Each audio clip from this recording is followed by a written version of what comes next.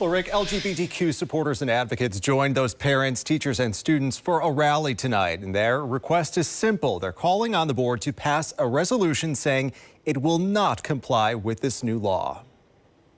As the Jefferson County Board of Education met in executive session inside, a call to action was taking place outside. We will not comply! LGBTQ supporters and activists sending a clear message to the board. Do not comply with Senate Bill 150.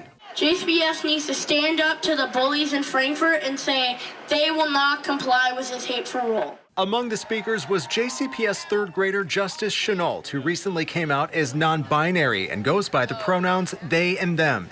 Their mother says their experience in school has been great so far, but she fears what will happen when this law takes effect. And just knowing that I no longer have the protections of the law um, is really scary as a parent. Uh, and I'm really hoping that, that JCPS will, will stand up and say, no way, this isn't how we feel about our students, and, uh, and we want to protect them.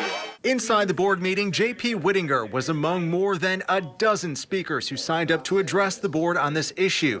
He's concerned about his gender nonconforming child who attends JCPS. Queer kids are more likely both to consider and attempt self-harm. None more so than transgender youth, whose studies show 80% have had suicidal ideation and nearly half have tried to follow through. The speakers also included several JCPS teachers. The lives of our trans youth are not political.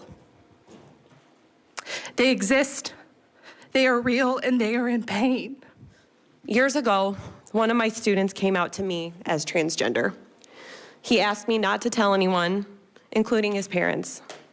I respected his wishes, and to this day, I do not regret that I did. Teachers like Kate Albrecht fear this bill will force them to endanger some students' well-being. Would his parents embrace him or hurt him, support him or kick him out?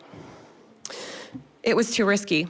Superintendent Dr. Marty Pollio said he and the board shared many of their concerns, but says they're still trying to figure out a path forward. It's a difficult road to navigate, to be honest with you. There's just not a simple answer as to will we comply or not comply with that. Now, Pollio said he and the board share many of those same concerns, including whether this state law puts them at risk of violating federal laws. Regardless, Pollio says they will have to put out some guidance before the start of the next school year. But what that will look like is still unclear. Reporting live in studio, Drew Gardner, WLKY News. Thank you, Drew.